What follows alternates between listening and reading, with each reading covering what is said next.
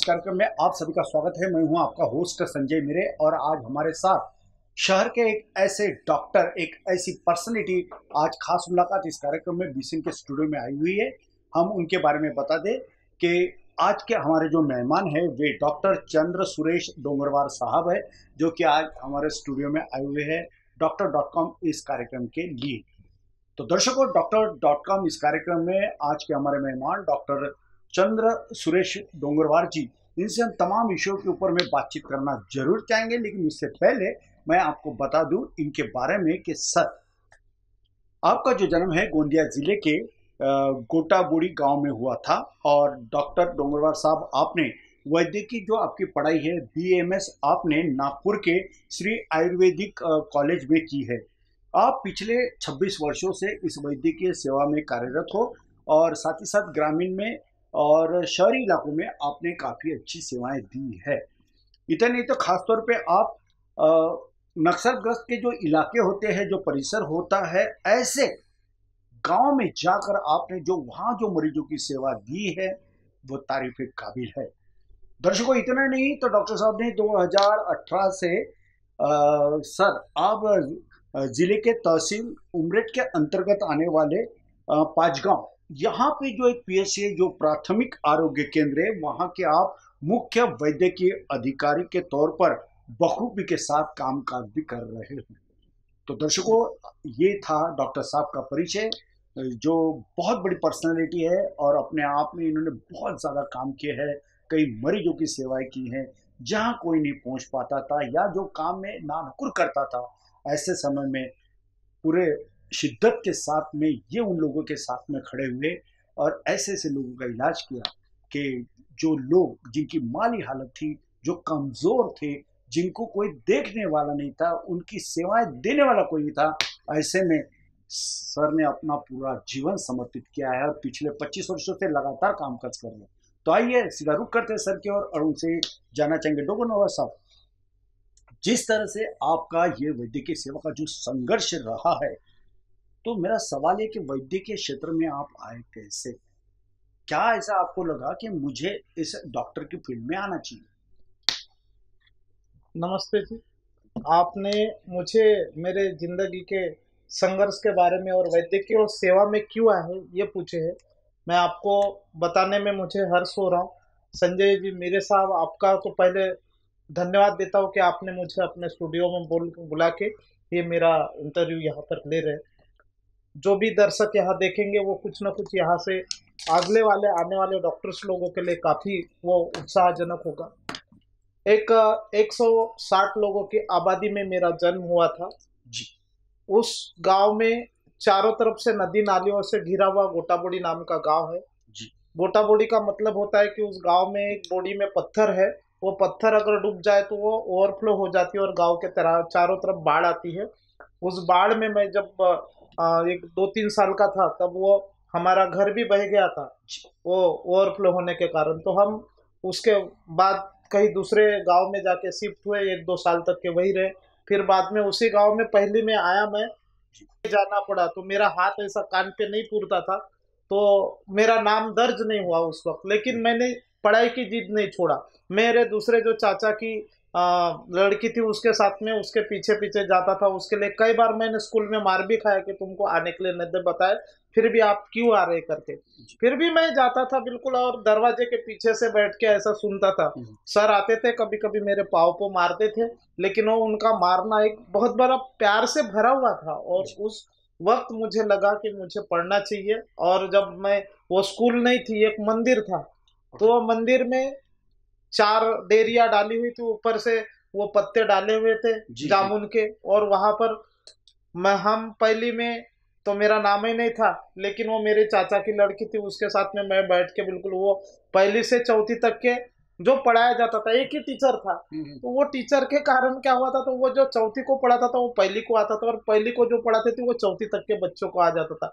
चाहे गणित का रहो या कोई कविता रहे एक उस वक्त लाड़की बावली होती माझी एक वो कविता चौथी की थी लेकिन मुझे याद रहती थी और मुझे वो बोला जाता था कि आप करो। अभी रहा सवाल कि डॉक्टरी पेशा में आया थे जी जी। ये मेन मुद्दा है डॉक्टरी पेशा में आने का एक ही मकसद था हम्म। मेरे पीछे में कि वो एक बार बाढ़ आ गई थी और बाढ़ में एक डिलीवरी मेरी चाची जो थी छोटी वाली उसको लेके जाने का था। जी। तो वो बैल बंडी लेके जाना पड़ता था तो वो बैल बंडी पे लेके गए और एक मार्बल नाला करके आता, वो ओवरफ्लो था, बंडी वहाँ जाके रख दिए और डॉक्टर आ नहीं पा रहे थे ओवरफ्लो रहने से। तो फिर गोंदिया से एक डॉक्टर को बुलाया गया, लेकिन वो गोंदिया से जब डॉक्टर आया, तब तक के इनका देहांत हो चुका था मेरे जो चाची के बच्चे का तो वो बहुत दर्दनाक घटना थी। उसके दो माह जाने के बाद में दिवाली के लगभग दो चार दिन पहले वो जो दूसरे गाँव में धोबी सराड़ में जाते थे वहाँ ईटा बनाने के लिए जाने के वास्ते वहाँ गए थे और वहाँ पर वो घास रहता है तनस रहता है उसके ऊपर मेरी चाची सोई थी। सुबह वो चार पाँच बजे उठने गई होंगी। हम्म, तो वहाँ पर एक कोबरा यानी नाग साहब ने उनका दंश किया और वो वहीं पर ही उनकी डेथ हुई। और वो बंडी पे मेरे को बिठा के वहाँ लेके गया कि उसका पोस्टमार्टम करना है करके तो गए। वहाँ डॉक्टर्स तीन बजे तक के आए ही नहीं पोस्टमार्टम हुआ ही नहीं। हम थक गए सब जन देख रहे कब आएँगे कब आएँगे।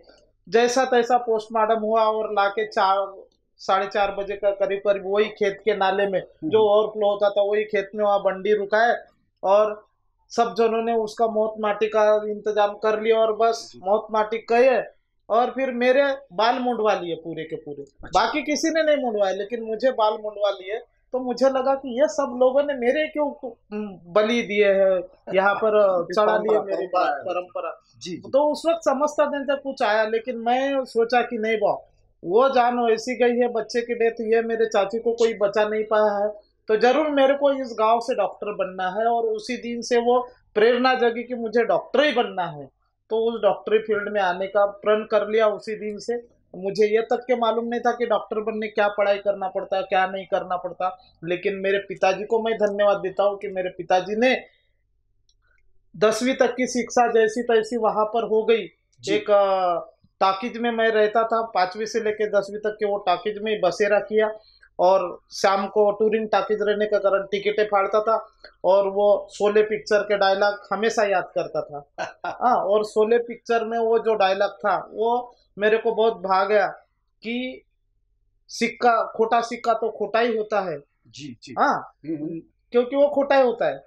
लेकिन संजीव कुमार बोलते हैं कि सिक्के और इंसानों में यही फ़र्क है कि इंसान कभी भी अच्छा हो सकता है। ये जय और वीरू चोर डाकू ज़रूर है लेकिन ये इंसान है। और वो जो इंसानियत का पार्ट मैंने वो शोले पिक्चर से पढ़ा हुआ और बस उसी दिन से ये हो गया कि मैं मेरे बाल मेरी चाल मेरा सब पहराव वगैरह अमिताभ जी से करने लग गया और डायलॉग वही बोलते रहा और बस उसी से मेरा सफ़र शुरू हुआ। मेरे पिताजी ने वो मेरे गाँव के पुलिस पाटिल थे। उस। पुलिस पाटिल से एक साइकिल मंगी। दसवीं का रिकॉर्ड पचासी में आया था मेरा, तेरह जून को। लेकिन मैं, मेरे को पहुँचाया गया एक जुलाई को, पचासी को नागपुर में। वह नागपुर में पहुँचाने के बाद में वो आते समय, भंडारा के बाद में, मऊदा के साइड में आके हमारी साइकिल पंचर हो गई। हम वो महालगांव गए।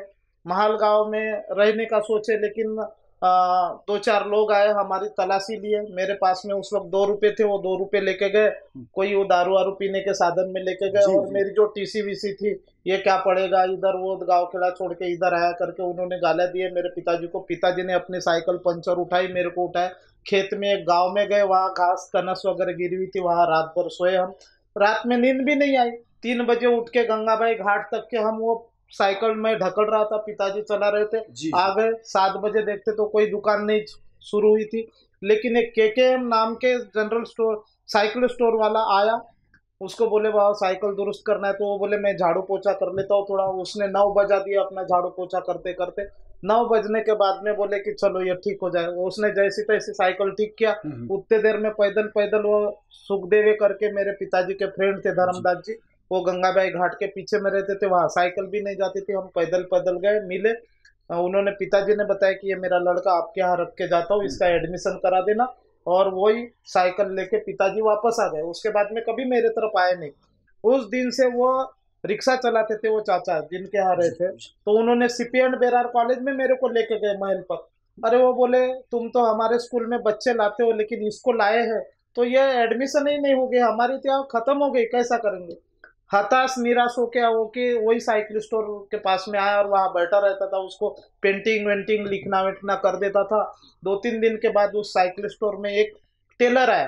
ओके। वो टेलर ने बोला कि तू यहाँ बैठे रहने से मेरे आ, दुकान में चल ताकि मेरे काज बटन कर देना दो चार रुपए मैं तेरे को दे दूँगा तो वो दो चार रुपए के लिए मैं बर्डी में गया नैवेद्यम के पास में बर्डी स्क्वायर में। जी जी। और वहाँ जाने के बाद में उन्होंने मेरे को काज बटन का काम दिए। एक उधर से शख्स आया और चिल्लाया वो टेलर के ऊपर। पंकज अल्ट्रेशन था उनका टेलर का नाम तो उसने चिल्लाया। चिल्लाने के बाद में क्या हुआ कि मुझे लगा कि ये क्यों चिल्ला रहे हैं? उनको पूछा तो नहीं बोले इनका शादी का सूट है? वो शादी का सूट के काज बटन रह गए थे। तो मैंने बोला, सर, दो ना, मेरे तरफ़ मैं कर देता हूँ। तीन, साढ़े तीन मिनट में मैंने वो शादी का सूट पूरा उसका काज बटन कर दिया। वो इतना खुश हो गया कि खुश होके वो जो है टेलर साहब उनको थैंक यू बोला। वो थैंक यू के बदले में उन्होंने बोला कि ना ये जो इंसान आया है ये जो लड़का आया है इसको साइंस पढ़ना है और डॉक्टर बनना है। उन्होंने बोले कि भाई ये तो हमारी प्रोसीजर कम हो गई। लेकिन मेरी शादी के बाद मैं आता हूँ हो सके तो मैं कुछ करूँगा इस बच्चे के लिए क्योंकि इन्होंने बहुत कम तो समय फिर में। दाखला आपका? आखिर में दाखला उसने चार पाँच दिन बाद वो आए शादी निपटा के और मेरे को ले जाए। एक एडमिशन उनके यहाँ का कैंसिल हुआ था। वो कैंसिल होने के बाद में मेरे को साइंस में एडमिशन दिलाए और मैं साइंस पढ़ा। कुछ टीचर लोगों ने तो ये भी बोले थे कि खड़े सा इसको आर्ट या कॉमर्स में दिलवा दो। लेकिन वो वो जो है मुरारकर जी उसने बोला कि नहीं इनको साइंस से दिलाऊँगा और जब मैं बारहवीं पास हुआ और जब मेरा एडमिशन हुआ डॉक्टर में तो सारे लोग आ गए गुलदस्ते लेके और सब ये हो गया मुझे लगा कि मुझे मेरे ज़िंदगी के दिन सफल हो गए और वो संघर्ष के दिन निकल गए और मैं जैसे जैसे डॉक्टर बन ही गया। और मुझे बड़ी खुशी है डॉक्टर बन के मैं हर जगह जाता हूँ तो लोग बड़े आतुरता से मेरा स्वागत करते हैं। बिल्कुल बिल्कुल। तो देखा दर्शकों किस प्रकार से डोंगरवार साहब का जो एक सफ़र जो रहा है बहुत ही विकट सफ़र रहा है। हर किसी के जीवन में इस प्रकार के मोड़ आते हैं। जब भी कोई बड़ा आदमी बनता है तो उनको इन कठिनाइयों का सामना करना पड़ता है कई दिक्कतों का सामना करना पड़ता है और तब कई राह मिलती है। और जब राह चलते हैं तो कांटे भी होते हैं अगर गुलाब के पुष्प चाहिए तो कांटों को दूर करना होता है। कहने का तात्पर्य है कि हमें यदि सक्सेस चाहिए सक्सेस होना है तो हमें उस दिक्कतों का, जो दिक्कत की जो सड़कें हैं या पथ पे जो कांटे हैं, उसको साइड में करके आगे निकलना होगा। और जैसे कि डोंगरवा साहब ने एक चीज़ बहुत अच्छी बताई कि डॉक्टर बनने का इनमें निर्माण कैसी ये बात कैसी जागरूक हुई उनमें कि मुझे डॉक्टर बनना है। अगर चाहे तो एक देहात से आया हुआ, एक खिड़गांव से आया हुआ एक नौजवान कुछ भी बन सकता था। मगर डॉक्टर बनने की तब ठानी जब इनके चाची का निधन हुआ और निधन हुआ इसलिए नहीं, बल्कि जिस वजह से निधन हुआ उसके बाद उन्हें जो इलाज नहीं मिला, वो बात कहीं ना कहीं इनके दिल में खटक रही थी। वो घर बना के रह गई और उसी के चलते इन्होंने ठान ली कि मैं कुछ भी करूँगा, लेकिन डॉक्टर ज़रूर बनूँगा, क्योंकि जिस प्रकार से ये जो घटना हुई है ये भविष्य में किसी के साथ में ना हो और मैं अच्छी सेवा दूँगा। एक पैशन था और जिसके चलते काफ़ी मेहनत की, जैसे कि उन्होंने बताया कि साइकिल की दुकान में काम किया। इनके पास दो रुपए थे तो किसी ने दो रुपए तक के लूट लिया, वो शराब पीने गया और ये लड़का क्या पढ़ेगा? ऐसा नीचे दिखाने वाले आज भी आज भी समाज में कई ऐसे बड़े वाइट कॉलर लोग हैं जो दूसरों को नीचा दिखाने के लिए भरकस कोशिश करते हैं। लेकिन राहें उन्हें ही मिलती है जिनमें कुछ करने का हौसला होता है। और ये हौसला था डॉक्टर चंद्र सुरेश डोंगरवार जी में, जिन्होंने काफ़ी संघर्ष किया और बीएमएस किया, उसके बाद में डॉक्टर बने। अब सर, ये तो रहा आपका बहुत ही बड़ा सफ़र। मेरा सवाल ये था कि अक्सर लोग शहरों में या बहुत ज़्यादा हो गया तो ग्रामीण इलाकों में जाके काम करना चाहते हैं, खासतौर पर डॉक्टर। लेकिन अब ऐसी जगहों में काम करने गए, चाहे आपकी ड्यूटी लगाई होगी आपके अस्पताल वालों की वजह से। नक्सल, नक्सलाइट जो एरिया होता है, वो किस प्रकार का होता है, ये तो कोई बताने की बात नहीं। ऐसे इलाके में जाकर और वहाँ के आदिवासियों हो या अन्य धर्म के जाति धर्म पंथ के लोग हो, उनको सेवा देना बहुत बड़ी बात होती है। तो सवाल ही मेरा ये था कि जब आप नक्सलग्रस्त इलाकों में जाकर आपने जो वहाँ पर सेवाएँ दी है कैसा रहा आपका अनुभव? क्या चल रहा था आपके मन में? हम्म ये बहुत संजय जी आपका धन्यवाद कि ये सवाल कोई मुझे आज तक के पूछता नहीं लेकिन आपने पूछा है तो इसका जवाब बहुत सुंदर है और बहुत अच्छा है जो आप लोगों को शायद उसका बारे में जान के खुशी हो। आ, मुझे जैसा मैं इंटर्नशिप मेरी कंप्लीट हुई वैसा ही एक शासन की एक योजना है कि स्कूल के बच्चों का चेकअप पहली से लेके जी। चौथी तक के बच्चों का सौ टक्के चेकअप होना चाहिए। हम्म। और वो चेकअप में जो भी हार्ट डिसीज वाले हैंडीकैप या जो भी हाइड्रोसिल हर्निया कंजेनाइटल हर्निया जो भी डिसीज है वो गवर्नमेंट को देना था और गवर्नमेंट ने उसको ये करने वाली थी कि डिटेक्ट करके फ्री ऑफ़ कॉस्ट उसका ट्रीटमेंट करने वाली थी। जब मैं उन्नीस सौ चौरानबे में बोरखेड़ी दवाखाने में दाखिल हुआ और वहाँ के बच्चों को चेकअप किया। मैंने पूरा रिकॉर्ड मैंने गवर्नमेंट को सौंप दिया। हम्म। तो वो सौंपने के बाद में आ, हमारे डायरेक्टर आए सुभाष साड़ुन के वो प्रोग्राम के लिए। और एक डॉक्टर पंडित सर थे जो डेपुट डायरेक्टर थे नागपुर में। वो आए और एक पपेट शो किए जन जागृति के लिए। लोग नहीं आते थे उसके लिए। तो वो शो में जब मेरा प्रेजेंटेशन देखे कि अगर ये आ, बंदा इतना अच्छा काम कर सकता और ये तो इसकी ज़रूरत तो नागपुर से ज़्यादा गढ़चुल्ली में है। अगर हमारा एक बंदा, एक डॉक्टर एक ज़िले में अगर पहुँच जाए और हर ज़िले में एक एक डॉक्टर ऐसा मिल जाए तो क्यों नहीं होता तो क्यों ना हम शुरुआत गढ़चुल्ली से की जाए। तो तब मेरी पोस्टिंग डायरेक्ट गढ़चुल्ली की गई और गढ़चुल्ली में भी कहा की गई कि जहाँ पचास किलोमीटर तक के पैदल जाना पड़ता। आज गाँव पे इलेक्ट्रिसिटी नहीं है, आज भी रास्ता नहीं है उस वक्त तो नई नई स्कूल आश्रम स्कूल खोली गई थी और एक बच्चा वहाँ का डेथ हुआ था। वो डेथ का नहीं होना चाहिए आश्रम स्कूल के वो डेथ प्रिवेंट करने के लिए मेरी वहाँ स्पेशल नियुक्ति की गई। हाँ स्पेशल नियुक्ति की गई। मैं वहाँ पर तो वहाँ जाके देखा तो जाते जाते रास्ते में क्या हुआ? बहुत बड़ी नदी थी बांदे नदी करके है। एक से डेढ़ किलोमीटर का उसका पात्र है। जब उधर से मैं जब इधर ये किनारे पे था वो किनारे से मेरा एक मेल वर्कर और एक फीमेल वर्कर जो आरोग्य सेवक सेविका ये कहते हैं वो जब पानी में से आ रहे थे हम्म। तो थोड़ा देर पानी घुटने तक क्या है मुझे लगा ठीक होगा इतना होगा बाद में कमर तक के पानी आया। लेकिन जब वो छाती तक का पानी आया और वो जब निकलने लग गया तो मुझे ऐसा लगा कि मुझे तो नौकरी नहीं करना चाहिए मैं तो डूबे जाऊँगा बह जाऊँगा ये नाले। ऐसा सोचा लेकिन उन्होंने हिम्मत ना हारते हुए अपना सारे जो रिकॉर्ड थे वो सर पे उठा लिया और बस आ रहे थे जैसे तैसे। दोनों जन आए एक में के साथ। मैं बोला जब ये लोग आ सकते हैं मैं डॉक्टर होते हुए अगर मैं जाने की हिम्मत नहीं किया तो मुझे भी और यहाँ आने के बाद में पूछे मैंने पूछा मैं जा सकता हूँ क्या? नहीं बोले पत्थर है बोले वहाँ से पानी बंद होने के बाद में हमको हमेशा आने आने जाने की हैबिट है इसलिए हम आ गए बोले लेकिन आप नहीं जाते। और मेरे पास में हीरो होंडा गाड़ी थी नई नई डबल एस वाली। हम्म, हम्म। तब राजदूत चला करती थी मैं हीरो होंडा लेके गया था। तो बोले गाड़ी इधर ही कहीं रख दो और तुम पैदल जाओ यहाँ से पैंतालीस किलोमीटर का रन है यहाँ से तुम जाओ। तो मैंने बोला ठीक है मैं जाऊँगा वहाँ। जैसे तैसे उनको सोचा गाड़ी वहाँ रख दिया और गया तो सात दिन उधर ही रहा। आया ही नहीं। जाके देखता हूँ वहाँ पे क्या हुआ तो स्कूल जो है ना इमली के पेड़ के नीचे भर रही थी। स्कूल का आता पता ही नहीं। और टीचर लोग अप अपना दो दो बच्चों को हर दिन लाते थे और वहाँ पढ़ाते थे।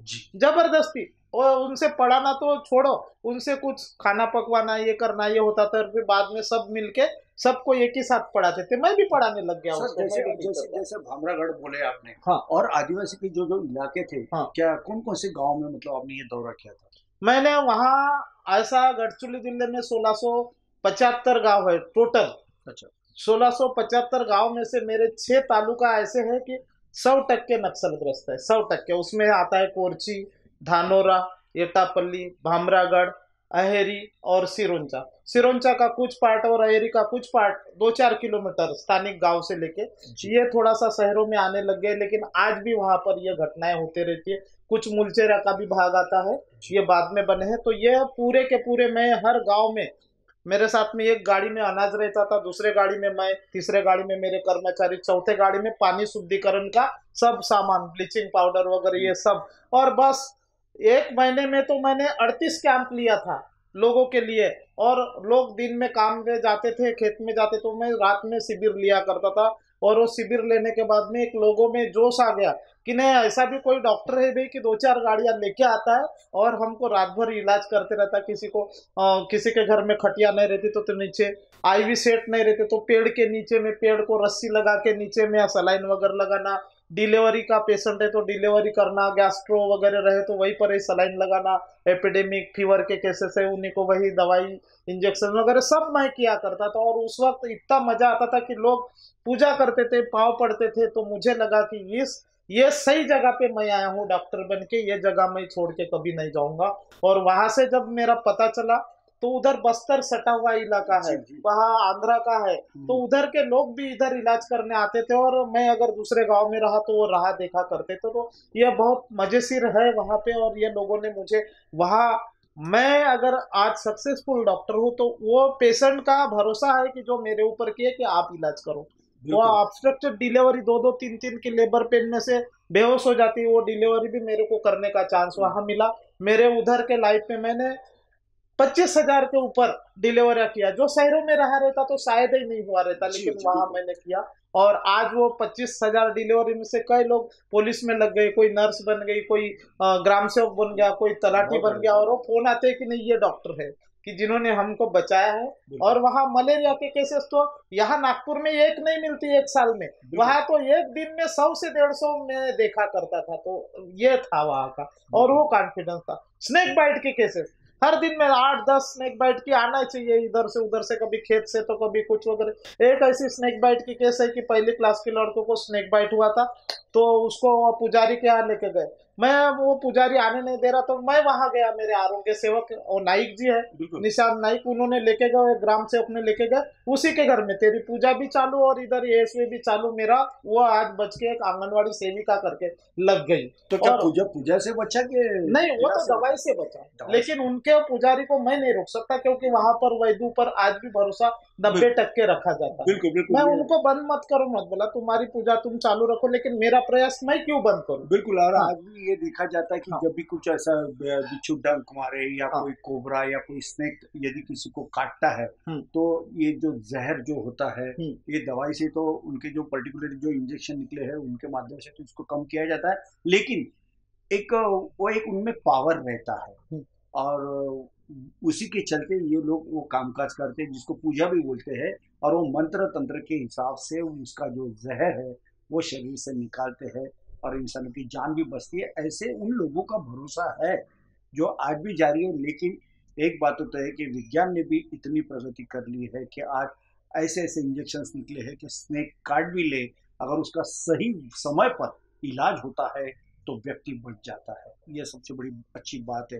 दर्शकों जैसे कि डॉक्टर चंद्र सुरेश डोंगरवार जी इन्होंने जो अपने जो तजुर्बे जो अनुभव जो बयां किया है वो काफ़ी मज़ेदार किया है। लेकिन उनका एक अनुभव इस प्रकार का बताया कि पेड़ को लैंप लगाते हुए खटिया पे वो चाहे कोई प्रेगनेंसी की महिला उसकी डिलीवरी करते हुए या कोई भी ऐसा मलेरिया का या फाइलेरिया का जो भी मरीज़ आता था उनकी जो सेवाएँ देने की इनका जो टेक्निक्स था वो अलग था। अ, सर जैसे आप जब बोल रहे थे तो मेरे आँखों के सामने में बाबा आमटे की एक फ़िल्म आई थी जिसमें नाना पाटेकर साहब ने किरदार किया था और मकरंद अनासपुरी जी भी उस फ़िल्म में थे। तो इसी प्रकार के बाबा आमटे, इनका जो सफ़र समाज सेवी बाबा आमटे जी का जो सफ़र रहा था उस समय में तो इसी प्रकार का था और आपका भी सफ़र वैसा ही चल रहा है। सर, मेरा एक सवाल ये भी था कि आपने इतने कामकाज किए, उसके बाद जब आप नागपुर आए आज तो ये माहौल आपका है माहौल ही कहना चाहूँगा कि फ़िलहाल में आपके पास दो पीएससी और उसके अंतर्गत आने वाले दो स्वास्थ्य उप केंद्र आप संभाल रहे हो। ये सब काम कैसे मैनेज कर लेते हो? हाँ बहुत अच्छी बात है कि गढ़चुली ये एक ऐसा प्लेस है कि वहाँ काम की कमी नहीं है। सिर्फ़ दिल से काम करने वाला होना चाहिए। बाबा आमटे जी मेरे प्रेरणा स्रोत वहाँ रहे हैं। जब मैं भामरागढ़ गया और उनका देखा तो बहुत बड़ा फाइव स्टार टाइप दवाखाना नहीं है आज भी नहीं है। जी जी। एक झोपड़े में और एक चौथी क्लास एम्पलवार नाम का एक चपरासी था वही डॉक्टर का रोल निभाता था वही पेशेंट को दवाई देता था वही सब कुछ। और बाबा आमटे तो भगवान टाइप लोग मानते थे उनको नमस्कार किए उनको कि गए और वो उनको दो गोली देता था रख देता था उनका आराम होता था। तो यह बहुत बड़ा फेथ है। तुम प्यार से अगर पेशेंट को कुछ भी दे दो तो वो एक थोड़ा देर उसको सपोर्ट आ जाता है कि वो हो जाए। लेकिन line of treatment Baba Amte ji सब अच्छे से करते थे। वहाँ से और वो प्रेरणा लिया वहाँ से अठारह किलोमीटर हम पैदल गए लाहरी बिना गुंडा तक के। वो तो भामरागढ़ हेमल कसा में ही है। लेकिन मोने बोला कि यहाँ मुझे न रुकते हुए मुझे आगे भी जाना है। बामरागढ़ बिनागुंडा कुआ कोड़ी गर्देवाड़ा ये अंदर की क्या बात है? तो वहाँ रास्ता तो है ही नहीं। आज भी नहीं है रास्ता। आज भी हमको पैदल ही जाना पड़ता है और रोड का तो नामो निशान नहीं है। हर साल बारिश आती है हर साल नया रास्ता बनता है हर साल पगडंडी बनती है। आज भी बिना गुंडा अगर जाके देखो तो वहाँ पर वही कंडीशन है वहाँ विनोबा आश्रम स्कूल करके है। वहाँ जब मैं जाके विज़िट किया तो एक ही बच्चा था और छह टीचर थे। अभी टीचर ज़्यादा और बच्चा कम तो करे क्या? पढ़ने की किसी को यही नहीं थी। जी जी फिर भी वो स्कूल खोले और वहाँ पर भी जाके मैंने इलाज किया हर गाँव में आया। उसी तरह वो जो धरती है वहाँ पर हर फ़ील्ड में मैंने किया। इम्यूनाइजेशन नहीं करते थे लसीकरण जो लगाना चाहिए हाँ वो प्रिवेंटेबल है। वैक्सीन प्रिवेंटेबल डिसीज में आते हैं बच्चों को अगर लस नहीं लगाई जाए तो उसका भविष्य अंधकार में हो सकता है। तो ये सारे लसीकरण है। फैमिली प्लानिंग तो कोई करते ही नहीं थे लसीकरण वगैरह। लेकिन जब मैं भामरागढ़ में 2004 में एक मेरा प्रोग्राम था आ, कि वहाँ दत्तक भामरागढ़ दत्तक तालुका है राज्यपाल साहब का महामहिम राज्यपाल साहब तो हर कोई राज्यपाल आता है। तो उस वक्त इक्कीस जनवरी 2004 को दौरा था आ, महामहिम मोहम्मद फजल जी का जो राज्यपाल थे उस वक्त तो मुझे लगा कि मुझे मेरे डिप्यूटी डायरेक्टर और डीएचओ और कलेक्टर साहब और सीओ साहब इन और अध्यक्ष साहब इन लोगों ने बताया कि नहीं आपको महामहिम साहब आ रहे तो उनके लिए आपके ऊपर ज़िम्मेदारी दी जाती कि वहाँ नो स्कॉल्पल वासकटामी करना है एनएसपी करना है। लेडीज़ तो करती नहीं। तो फिर वहाँ पुरुषों को कैसा किया जाए तो वो लोग जब नहीं आते तो, तो मैं सब सेंटर लेवल पे पुजारी के घर में वहाँ जाके उनको बोलता था कि तुम यही रुको दवाखाना आने की ज़रूरत नहीं मैं खुद आऊँगा। मैं एक गाड़ी में मेरा ऑटोक्लेव का ड्रम दूसरे गाड़ी में हमारी पूरी ट्रिम तीसरे गाड़ी में हमारे ऑटोक्लेव के सब साहित्य और यह सब इंस्ट्रूमेंट वगैरह लेके चार पाँच गाड़ियों के ताफे के साथ में जाते थे और हर दिन में मैं सौ से सवा सौ तक के ऑपरेशन किया और तीन दिन में पूरा दिन रात करके अंधेरा था लाइट नहीं थी तो टार्च के लाइट में, कभी कैंडल के लाइट में वो ऑपरेशन पाँच सौ तीन एनएसवी करके वो एक रिकॉर्ड है मेरा ऑपरेशन करने में कि जो लोगों ने बहुत सराहा मुझे और ये किया। और वो कार्यक्रम के बाद में मेरा ऐसा नाम हो गया जिधर उधर कि नहीं, ऐसा एक डॉक्टर रह गया तो हमारे ज़िले में बहुत बड़ा अच्छा है। और हर कोई प्रोग्राम में कोई शादी के प्रोग्राम में बुलाता था तो कोई बारसे के प्रोग्राम में जिसकी डिलीवरी किया वो बारसा करते थे और बुलाते थे।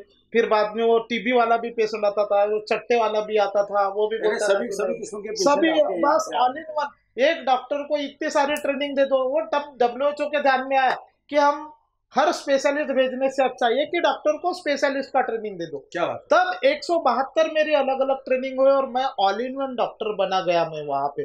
सब कोई भी सर के बाल से लेके पाव के नाखून तक के कोई भी डिसीज हो जाए तो वो करने का जो चांस मेरे को ICMR Indian council of medical research ने जो ट्रेनिंग दिया वो किया। WHO के पायलट प्रोजेक्ट चलाया वहाँ का ट्रेनर रहा।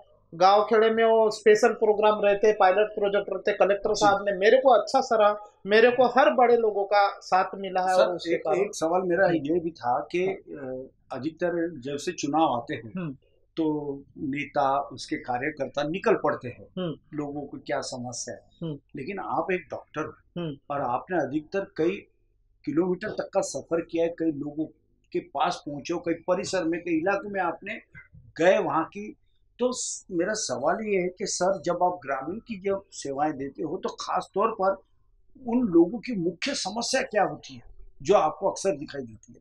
बराबर सही, समस्या हो तो हर समस्या ही समस्या है, चारों तरफ़ उनको। देखो, उनके पास में बिजली नहीं है, इसलिए बिजली की चिंता नहीं है। उनके पास खाने के लिए कुछ नहीं है तो खाने की चिंता नहीं है। उनके पास में मकान नहीं है रहने के लिए उसकी मकान नहीं है क्योंकि वो जैसे है उसी में अपना गुजारा कर लेने में खुशियाँ मनाते हैं। अगर खेत में जाते हैं तो खेत में तो घर रहता नहीं है तो खेत में थोड़े से दो चार बाम्बू लगा लेते हैं ऊपर से घास डाल देते हैं और अपना ये कर लेते बसेरा।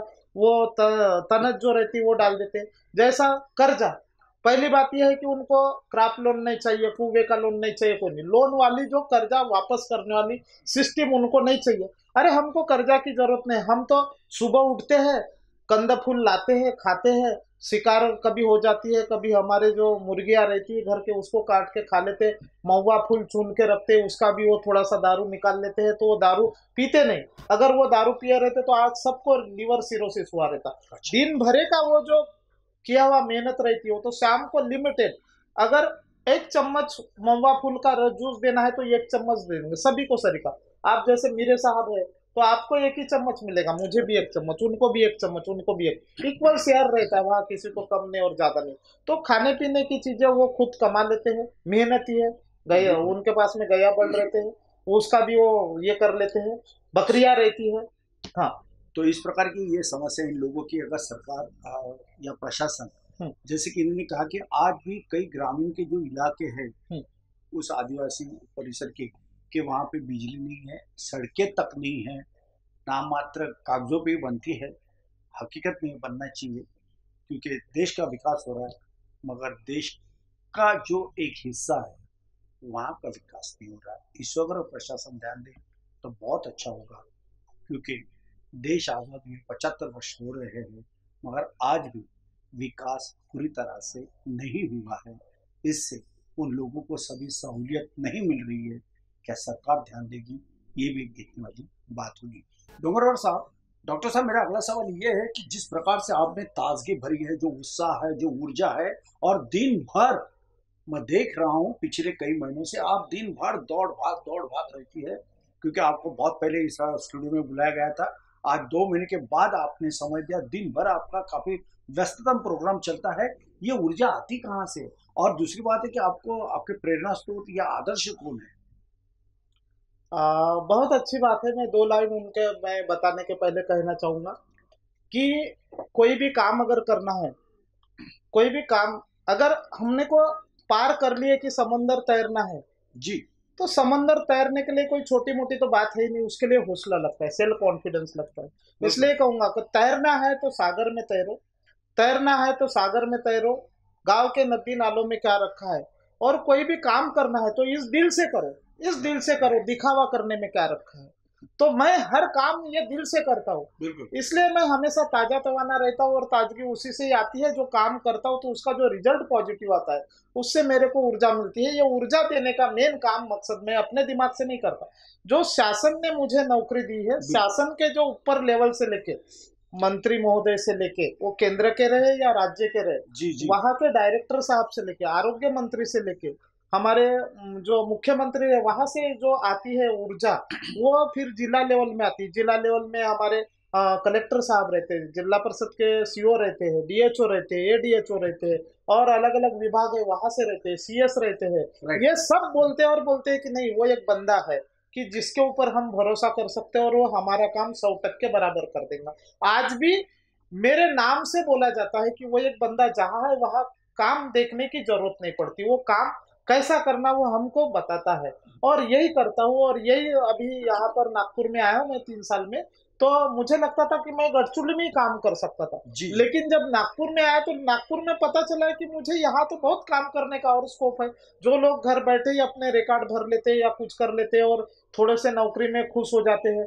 तो मैं बोला कि यहाँ अगर मैं दो घंटे में काम करके अगर दस घंटे में फ़ील्ड में जाता हूँ तो क्यों ना होता। फ़ील्ड में जाके देखता हूँ। तो ये सपोर्ट बनता है लोगों का जान पहचान होती उनके जो न बताने वाले डिसीज बताने लग जाते कि सर मैं दवाखाने में तो नहीं आया हूँ लेकिन मेरे यहाँ पर कुछ गठान है मेरे चट्टा है या कोई दर्द है नस लगी हुई कमर लगी हुई। तो ये जो प्रॉब्लम है मुझे खांसी आ रही। ये सारे प्रॉब्लम मैं किसी के घर में जाने के बाद में फिर और बाजू वाले आ जाते हैं और उसमें डिक्टेट होता है। आज लसीकरण के बारे में कोरोना काल में मैं शुरुआत से मैं, मैं कोरोना के विषय पे आने हाँ, वाला हूँ। ठीक है ठीक है तो ये हाँ कोरोना के विषय पे आने वाला हूँ। हाँ, तो दर्शकों जिस प्रकार से इन्होंने जो बातचीत की कि ऊर्जा कहाँ से आती है तो इन्होंने बहुत ही सटीक और सुंदर जवाब दिया है। अगर काम करने की चाहत हो मजबूती हो और दिल से जो काम करता है ऊर्जा उन्हीं में आती है। बहुत अच्छी बात आपने कही है। और इनके लिए मैं यही कहना चाहूँगा कि यूँ ही कभी किसी की तारीफ़ नहीं होती और कोशिश करने वालों की कभी हार नहीं होती।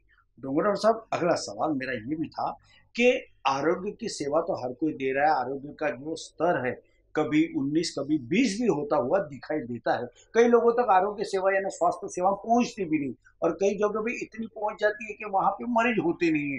ये भी, ये समाज में एक चित्र जो दिखाई देता है, सवाल ही मेरा ये है कि अच्छी आरोग्य सेवा का दर्जा और इस दर्जे को कैसे बढ़ाया जा सकता है? क्या उपाय योजना होना चाहिए? क्या तब्दीली होना चाहिए? क्या इसमें हो सकता है? नहीं, बिल्कुल बिल्कुल। हर वक्त, हर नया दिन में नई तब्दीली के साथ में अपन ने उम्मीद रखे तो तब्दीली के साथ साथ में काम भी करना चाहिए। उसके लिए अगर ऊपर लेवल से अगर तुम्हारे को काम की जैसी गाइडलाइन आती है, उसको काम बेहतर करने के लिए हमको सुबह से लेकर शाम तक के वो काम के प्रति बहुत ही जागरूक, ईमानदार और बिल्कुल उसको समय में करने का एक प्रतिबंधित प्रतिज्ञा खुद को करना पड़ता है। इस प्रतिज्ञा करने के लिए हमारे जो ऊपर से जो अभी व्हाट्सएप का जमाना है सारे मैसेज ऊपर के आदेश आदेश सब यही पर ही आते हैं। व्हाट्सएप पे। अगर वहाँ से आया है क्या हमारे डायरेक्टर साहब ने मैसेज छोड़ा है कि नहीं कल अपने को दस सेशन के जगह पंद्रह सेशन करना है। तो हमारी प्लानिंग रात से ही शुरू होती। है काम भले ही दूसरे दिन सात बजे शुरू होता। है लेकिन प्लानिंग रात में हो जाती है। तो ऐसे प्लानिंग देने वाले यहाँ के जो कलेक्टर साहब थे रविंद्र ठाकरे जी उन्होंने दी। या संजीव कुमार जी थे कमिश्नर साहब उन्होंने मेरा काम आके पांचगांव में देखा है। पालक मंत्री जी नितिन राउत जी आके देखा है। फिर बाद में वो हमारे रुग्ण कल्याण समिति के अध्यक्ष रहते हैं। जिला परिषद के अध्यक्ष रहते हैं रश्मि बर्वे जी। गुजरकर साहब मेरे जो है वो पालक अधिकारी है मेरे वहाँ के रुग्ण कल्याण समिति के। जी जी। तो इन लोगों ने मेरे को इतनी ऊर्जा भरी कि तुम करो जो होगा वो देखेंगे। उनके साथ साथ में जो अदर गाँव वाले भी थे उन्होंने भी सरपंच का सहयोग मिला उप सरपंच का मिला ग्राम पंचायत मेंबर का मिला बीडीओ का मिला तहसीलदार का मिला वो तो बोलते थे कि बस आप हो तो हम बहुत थोड़ा सा चैन से रहते हैं। अगर आप काम नहीं करते होते तो शायद हमको आपके पीछे में और आना पड़ा रहता और काम करो करो। तो जब जो इंसान काम करो बोलने के पहले ही प्लानिंग हो जाती है उसके तो क्या बोलने का? और काम जब प्लानिंग करके अगर वो इम्प्रूवमेंट होता है तो होता है। आज मैं गर्व के साथ में कह सकता हूँ कि मेरे को इन सभी का साथ मिलने के बाद मेरे डीएचओ भी मेरे को एनकरेज करते हैं जो सेलोकर जी का बहुत बड़ा आता है कि उन्होंने हद से ज़्यादा मेरे ऊपर ज़िम्मेदारी दी है और वो ज़िम्मेदारी पूरी करता हूँ तो डीएचओ सर का से ये करता हूँ कि दिल से धन्यवाद देता हूँ कि उन्होंने मेरे को सालई गोदनी पांचगांव वो पांचगांव जी सम्मानीय नितिन गडकरी जी का दत्तक ग्राम है। उस ग्राम में जो काम हुआ है वो सराहने लायक है। उसके साथ में चांपा है उदासा है विरली है बहादुरा है बेसा है मन बेसा बेलतोड़ी बेड़ाहरी है उधर ये अपना पिपड़ा है हाँ तो ये है खरसोली वगैरह है। ये सारे जितने भी गाँव है, बहत्तर गाँव का काम मेरे तरफ़ है। ग्रामीण नागपुर का जितसे भी रिकॉर्ड ब्रेक यहाँ पर वैक्सीनेशन हमने कराया। और छह सेंटर मेरे को ठाकरे सर ने, मेरे पास में स्टाफ कम था तो जीएमसी के जो है पंद्रह सिस्टर्स बीएससी नर्सिंग के उन्होंने दिए और वो सब काम करवाए।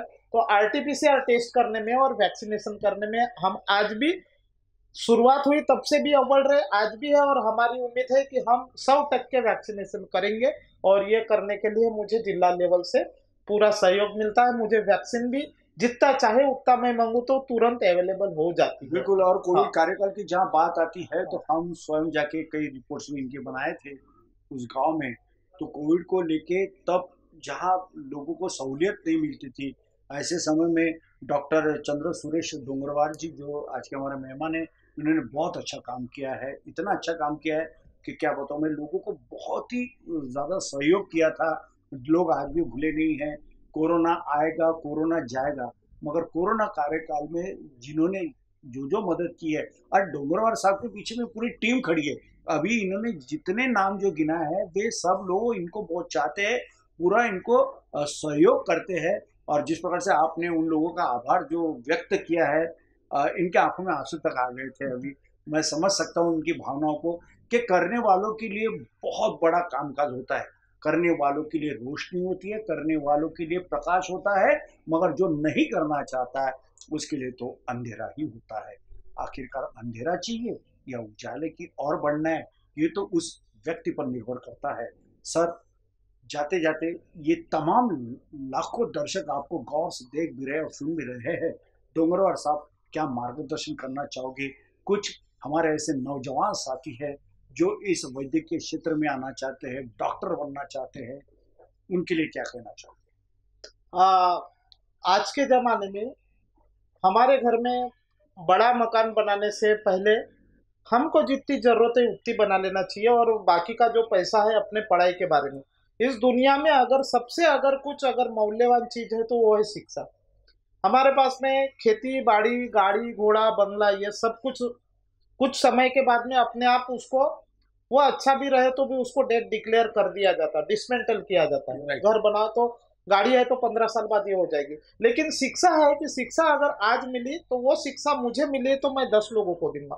वो दस लोग सौ लोगों को देंगे सौ लोग हज़ारों लोगों को देंगे और शिक्षा जिस देश में मिल जाती है वो शिक्षा चाहे स्कूल में जाने वाली हो सामाजिक शिक्षा हो आर्थिक विकास की शिक्षा हो या कोई सामाजिक दायित्व निकालने वाली, ये सारी शिक्षा में ही आते हैं। हम ये करते रहते हैं। मैं नौजवान लोगों को ये बोलूँगा, अभी स्कूल में पढ़ते हैं, उन्होंने अच्छे से स्कूल में पढ़ना चाहिए और देश की सेवा करने के लिए निकलना चाहिए। जो स्कूल छोड़ चुके हैं, उनको ये बोलूँगा कि आप कोई भी छोटे मोटे बिज़नेस की शिक्षा लो, वो बिज़नेस करो और अपना परिवार चलाओ।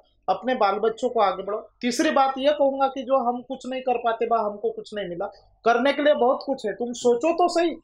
कुछ करने का सोचो बराबर अपने आप रास्ता निकल जाएगा। और तीसरा बात हेल्थ वर्कर को ये बोलूँगा मेरे शासन के अधिकारियों को भी बोलूँगा कि अगर कोई करना चाहता है तो उसको करने की खुली इजाज़त दे दो। वो क्या करना चाहता है? वो तो अच्छा ही कर रहा ना। वो तो आपसे कुछ मंग नहीं रहा, कुछ उसको इजाज़त दे, जो उसके रिज़ल्ट देखो, अगर वो सक्सेस होता है तो उसका पायलट प्रोजेक्ट वहाँ सक्सेस हो, दूसरे हर तालुका में दो, हर ज़िले को दे दो, ऐसा करते करते हो जाएगा। और मैं ये जितने भी हमारे बड़े लोग हैं कि जो छोटी छोटी शिक्षा हमारे हमारे पास में चीज़ों का प्रावधान कम है जैसा कंप्यूटर लगता है। मुझे ऑनलाइन करना है तो एक कंप्यूटर दे देने से नहीं होता। वहाँ अगर ओवर टाइम काम करना है तो दूसरा भी मेरे साथ में होना चाहिए। तो एक एडिशनल चीज़ वो होना चाहिए। कई व्हीकल है व्हीकल दे दिए तो पीओएल नहीं देते। पीओएल अगर दे दिए तो ड्राइवर नहीं रहता। तो ये बातें मत दो तुम वो। लेकिन वो करने की इजाज़त तो दे दो। अगर कोई अगर एक पेशेंट रहता है समय पे जाना है ड्राइवर नहीं तो गाँव में दस ड्राइवर मिल जाते कोई भी है। तो उसके लिए वो सुविधा मिलना चाहिए कि समय पे जो मिलता है उसको ये करना चाहिए। और गवर्नमेंट ये करती है मेरे 25-26 साल के सर्विस काल में मेरे को तो कोई तकलीफ़ आई नहीं।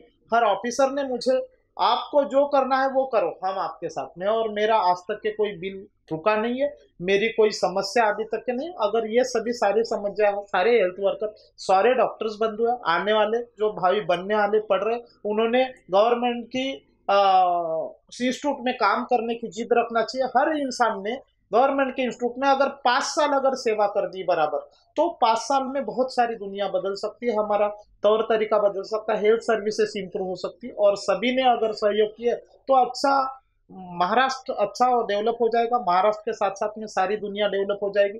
आउट ऑफ़ कंट्री भी जाके हम सेवा दे सकते हैं। अगर हमारा काम अच्छा है यहाँ तो आउट ऑफ़ कंट्री भी हम जाके सेवा दे सकते हैं। और मुझे गवर्नमेंट ने छह राज्यों में भेजा है। मैंने बड़े दिल से किया और उसी का नतीजा है कि आज मुझे हर जगह का ये मैं बिहार गया झारखंड गया छत्तीसगढ़ गया त्रिपुरा गया ओडिशा गया अंडमान निकोबार आइलैंड गया मध्य प्रदेश भोपाल में गया।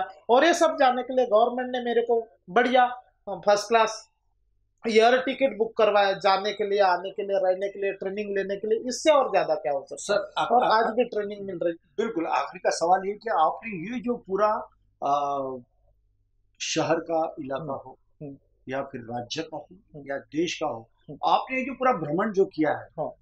तो आप एक बहुत बड़े सेलिब्रिटी हो आपको पूरे लोग जानते हैं अगर भविष्य में यदि कोई पार्टी चुनाव के लिए आपको खड़ा करने के लिए बोलती है या उम्मीदवारी देती है तो क्या आप राजकारण में भी जाओगे?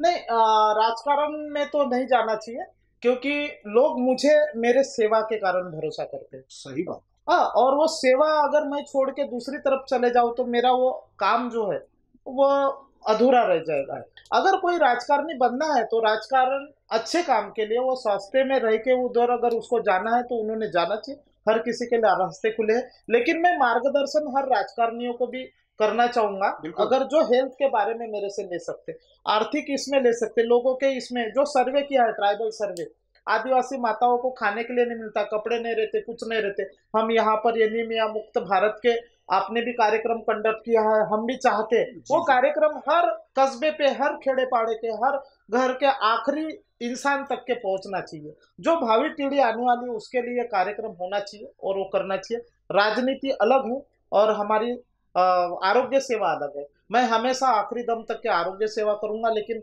ये नहीं कि मैं किसी राजकारणी के नहीं। ज़्यादा से ज़्यादा सपोर्ट मेरे को राजकारणी लोगों को ही मिलता है। आज भी मेरे को यहाँ ज़िले के पालक मंत्री का सपोर्ट है, मेरे आरोग्य मंत्री का सपोर्ट है, मेरे मंत्री महोदय का सपोर्ट है, मेरे घर में भी राजकारणी लोग हैं, जो आरोग्य सेवा छोड़ के हमने हमने सोचा मेरे, छोटे बहू ने सोचा था कि मैं इसने बोला कि तू एक सब सेंटर में सेवा देने से दस हज़ार लोगों से देने से दस लाख को देना।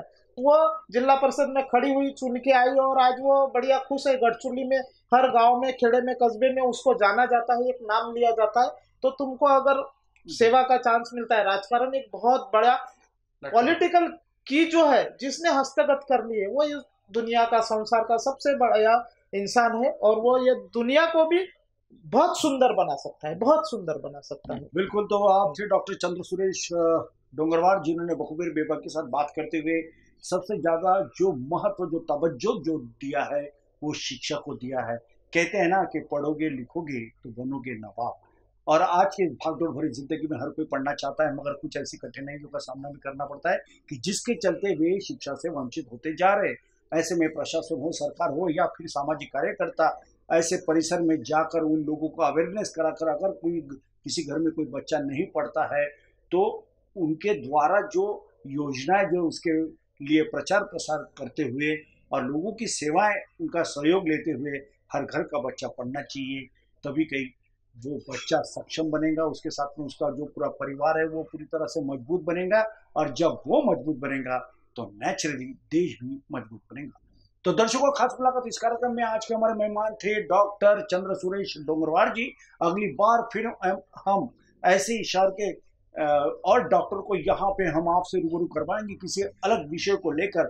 तब तक मुझे दीजिए इजाज़त। लेकिन सर, आज आप हमारे विषय के स्टूडियो में आए और जिस प्रकार से खास मुलाकात के माध्यम से जो अवेयरनेस प्रोग्राम भी बोल सकते हैं और जो लोगों से जो रूबरू हुए और आपके जो अनुभव आपने जो शेयर किया, वो तारीफ़ काबिल है। मैं तहे दिल से मेरे तमाम लैक्स ऑफ़ दर्शकों की ओर से आपका बहुत बहुत शुक्रगुजार हूँ।